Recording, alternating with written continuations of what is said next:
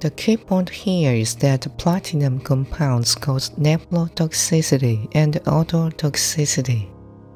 Now, how can you make sure to always remember these essential facts for your exams? I'll show you.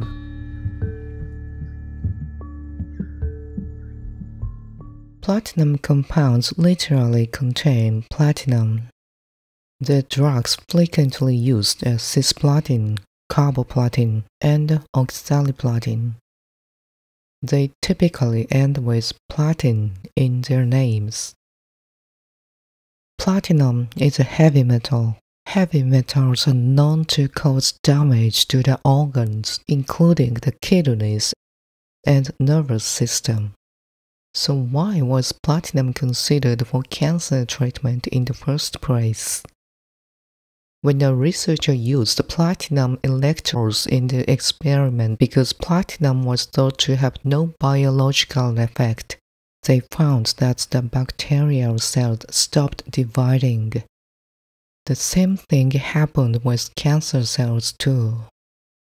After that, clinical studies with testicular cancer patients showed it worked, and slowly but surely cisplatin started being used in the treatment of a wide range of other cancers, including lung, bladder, and ovarian cancers. What are the side effects of platinum compounds? The notable side effect of cisplatin are nephrotoxicity and ototoxicity. These are critical points that are often tested in various exams. The notable side effect of cisplatin are nephrotoxicity and ototoxicity.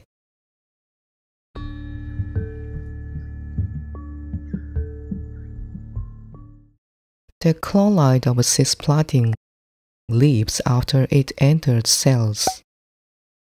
And then it produces the DNA crosslinks, including intrastrand and interstrand crosslinks. Crosslink DNA accounts for its cytotoxic properties.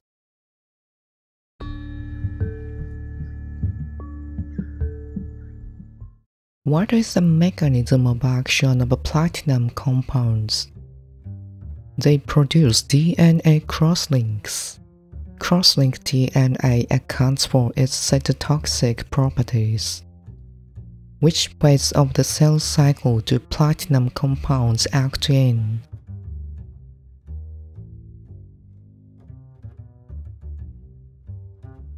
Platinum compounds cause direct damage to DNA, classifying them as non-cell cycle specific agents due to their broad impact on cells throughout various stages of the cell cycle. What are the side effects of platinum compounds? The notable side effects of platinum compounds, especially cisplatin, are nephrotoxicity and ototoxicity nephrotoxicity, and ototoxicity. Like other heavy metals, they also cause peripheral neuropathy. Thank you for watching. If you liked the video, please hit the like button. If you want to see more videos, hit the subscribe button.